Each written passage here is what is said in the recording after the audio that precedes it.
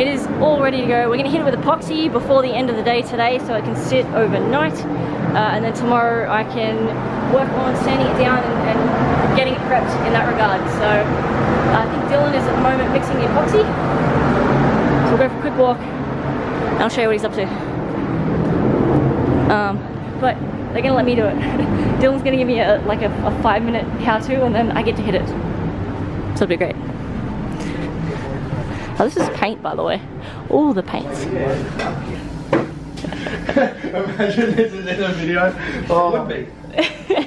I mean, I'm gonna take out the beeps, but uh, yeah, we can throw that in there. Hey, I'm gonna be famous. Um, so Dane actually has three different paint. Do you call them setups? Like, what do you call the shelves? Paint systems. Paint systems. Okay, so three different paint systems. That was it. Baslac.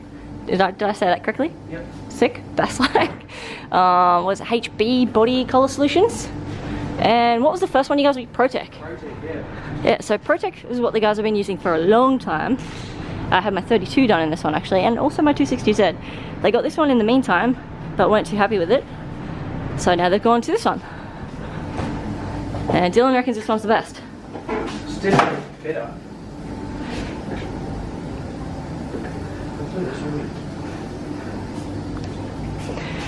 Ooh, epoxy's like khaki coloured.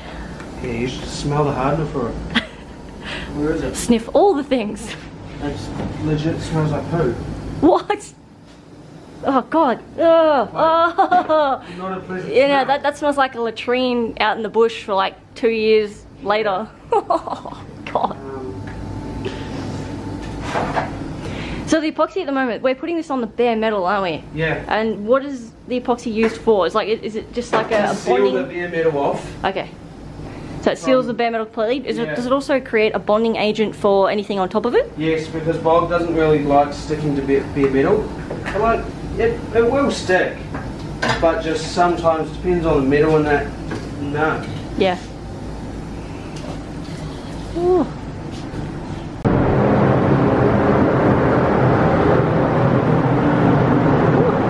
First coat down. I did my first coat of epoxy. Bravo. Thanks to this legend right here. Thank you very much.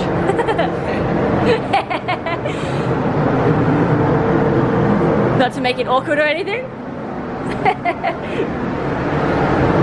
So we got one coat down, this is like a kind of a lighter coat to kind of give some, the paint and the next layer something to bond to. And then the second layer will be a bit wetter and a bit thicker.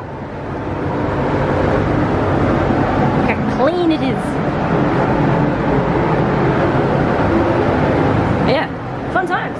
By the end of this I might actually know how to paint something.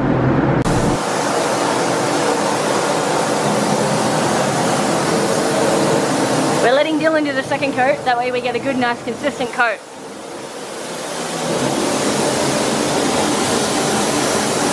Very nice.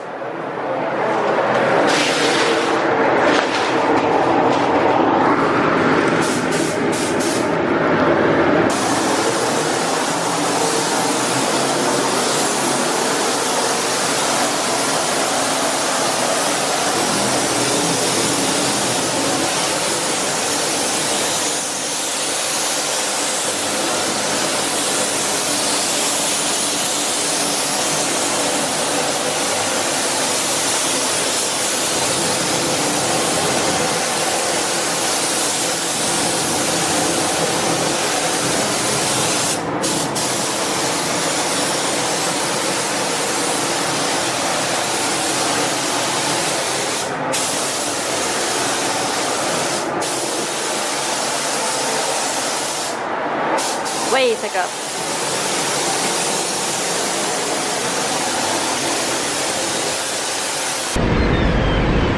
Good afternoon. We are back at Loco Customs. Woo! We've been really busy for the last two days. I didn't even pick up the camera yesterday because we were pulling apart some stuff. Um, surprise, can't tell you. So the panel beater that Dane has on, his name is Jamie. Jamie worked his absolute magic on the car yesterday and has uh, repaired all the metal that was rusted or that needed cutting out or that was dented or you know any of the bog spots. I was going to do it however Jamie offered to do it and he could do it 10 times faster than I could uh, and we can get this car out hopefully by the end of the week. So we went with that and Jamie's done. Uh, today we've been masking it up and we're about to hit it with some primer and get it ready for paint hopefully tomorrow. The guys were wandering around.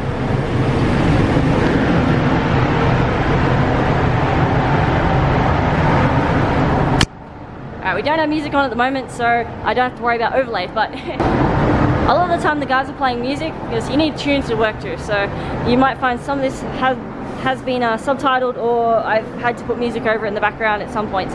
However, this is the S14 as it stands, just before we're about to hit it with primer.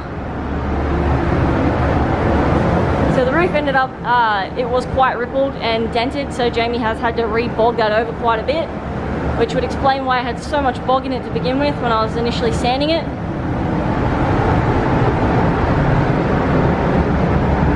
But it's not too bad. Jamie's cut out the whole metal rust patch here, as well as the uh, rust spot on the roof. He's fixed that as well. Um, tiny little dents and stuff from people's thumbs usually, pushing into the doors. This guy here had a bit. He's made my guards amazing. I actually feel bad if I ever want to roll my guards now.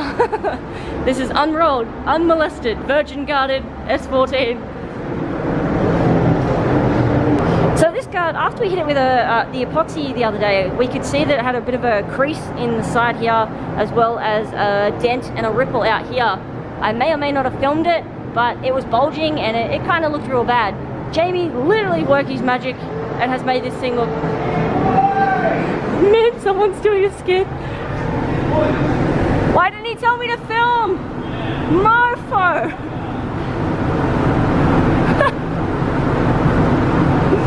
the guys are just doing skits outside. yeah, um, sorry, I gotta wait for the zoom to come in. This is the air ducting, by the way. If you're wondering what all the noise is all the time in here, it's the ventilation to pull all the dust and all the contaminants out through all the ventilation. That. The three dents that were in the bonnet are now fixed. Um, I don't know if he actually like ball paint hammered them or if he just bogged them over. I don't care, they look amazing, so that, that's fine. uh, same with the driver's door, had a couple of those finger marks and you know when people press on doors. Down here, it looked like we had uh, marks where they'd welded some pull marks to pull the door out. But again, Jamie's worked magic on that, so it looks great. Again, the roof didn't have anything overly visible, but you could feel the ripples in it. Like you'd run your hand across it and it will do that.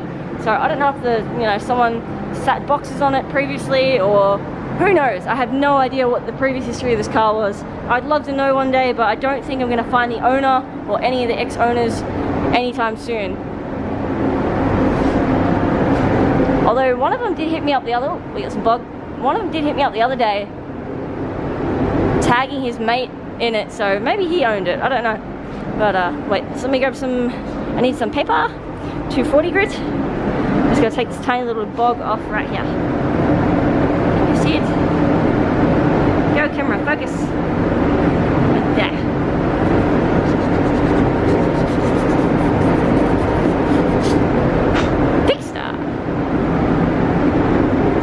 Yeah, so uh, Dylan has been helping me out tons with this, uh, showing me how to mask, showing me how to do, uh, how to spray things, and all that kind of thing. So uh, at the moment he's mixing me up some primer. I'm gonna go check out what he's doing and I'll show you guys. Apparently my camera is really dusty, sorry. But this ended up being a full restoration. For something that was meant to be a quick turnover drift car respray, this has literally become a full professional, no stops, skipped restoration S14. so that's kind of really cool. I'm driving the FD down here at the moment. It's $80 a day in fuel. It's killing me. But it's a cool drive. As we got the TA22 out here. Bunch of Commodores, little 86 hiding in the corner here. There's a, I think it's a Mercedes, some Euro thing. Some Euro thing in here is getting painted candy apple red. Oh, sorry, not the whole thing at the moment. They're doing the jams, as you can see there. I just came to find you.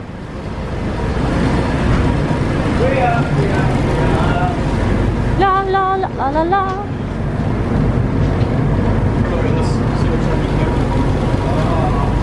Am I too dusty to go in there?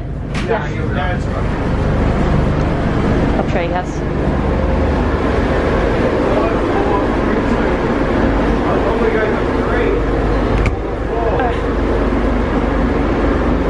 Hey. Well, so that's two codes, three codes, four five. Yep. Or we can go three or four. Hey. Huh? Uh, he did roughly to do eight Yeah. We're going with the four. It was white.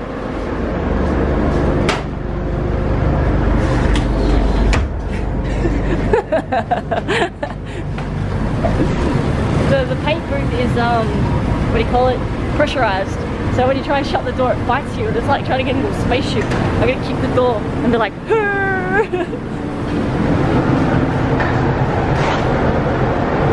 Oh, okay, put this down.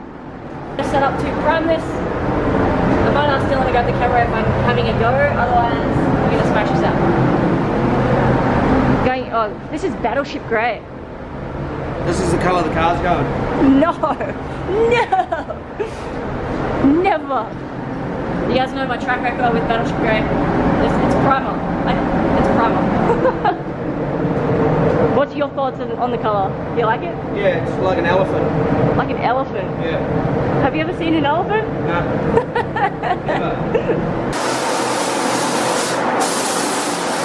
Dylan is hitting the repairs, the bog spot on the car with the primer, but the bog is quite porous, so we have to do extra coats on the repair parts before we then coat this entire car. So Dylan was saying we're going to do three coats on all the repairs, so the bog can suck it in, uh, and then another three to maybe four coats, depending on how much we need on the rest of the car to do a full coverage layer.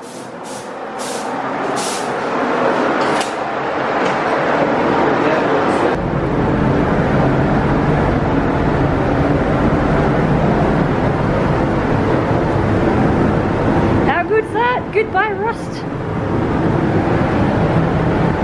Alright, we're gonna do a whole bunch more layers and I'll show you the end result before we wrap it up for today.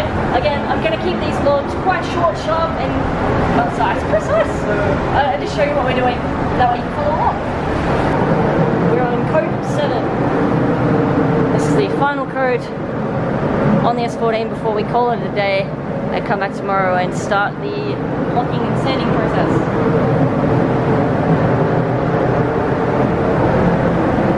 How pretty it looks.